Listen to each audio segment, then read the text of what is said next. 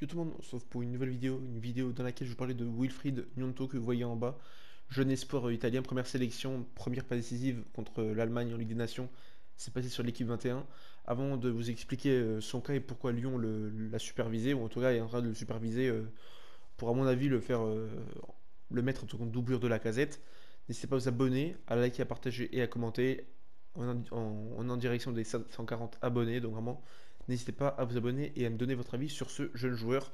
À mon avis, vous allez tous comme moi, euh, être un peu perplexe parce que personne ne le connaît. Hein. À part ceux qui suivent le championnat suisse. Honnêtement, je l'ai jamais entendu cette année, à part euh, pour sa pas décisive là euh, contre, contre l'Allemagne. Après, je me suis un petit peu renseigné sur son cas. C'est un attaquant qui est numéro 3 dans la hiérarchie de, Zurich. Il, y a deux, il joue à deux pointes et lui, c'est le, le troisième choix, c'est le premier remplaçant, on va dire parce que le, titulaire de base, c'est un Gambien qui a mis 20 buts et 10 pas décisives, et l'autre attaquant, c'est un Nigérian qui a mis 6 buts et 4 pas décisives. Donc je me suis renseigné un peu sur euh, Nyonto, mais il y en a qui disent qu'il a 10 buts, d'autres 8 buts et d'autres 9 buts.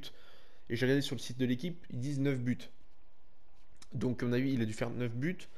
Euh, et je crois qu'il a fait une, une, ou deux passes décisives. Et en, et en Coupe de Suisse, il a fait 3 matchs, 2 buts et 2 passes décisives. Donc c'est pas mal pour une. Pour moi, pour moi c'est sa première saison. La saison dernière, c'était encore trop jeune. Là, il a fait une saison complète. Je crois que c'est plus de 30 matchs, vers les 34-36 matchs. Donc c'est beaucoup. Il a même été meilleur que l'attaquant nigérian qui est titulaire à sa place. Il a fait une meilleure saison pour moi.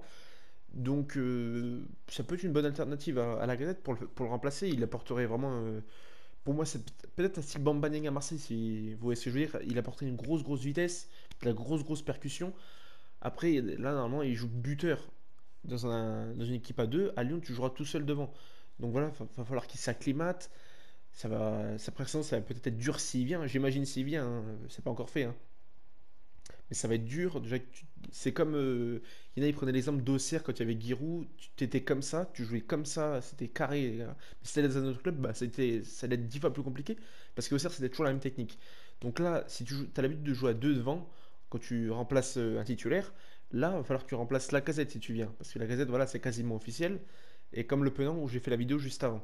Donc, euh, je sais, je sais pas quoi rajouter de plus. Je vous ai dit tout ce que je savais euh, sur ce joueur. Moi, honnêtement, je, voilà, ça, peut ça peut être une bonne chose.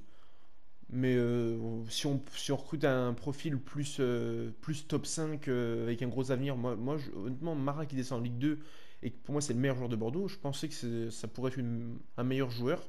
Après, si euh, Lyon, euh, en tout cas à force de le superviser, etc., et qu'il se, rende compte qu'il a un bon potentiel, pourquoi pas le mettre en doublure. Donc voilà, j'ai fait le tour, je vous ai un petit peu dévoilé ses, statistiques. évidemment, c'est un joueur assez rapide, il fait 1m70, voilà, je ne l'avais pas dit. Euh, voilà, c'est un profil un peu à la casette, il est un, tout petit peu plus petit que la casette.